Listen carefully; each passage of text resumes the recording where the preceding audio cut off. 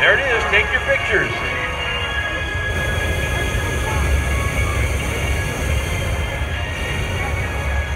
Give them a big hand. That's really cool. They love knowing that you're having a good time. So anytime they do something,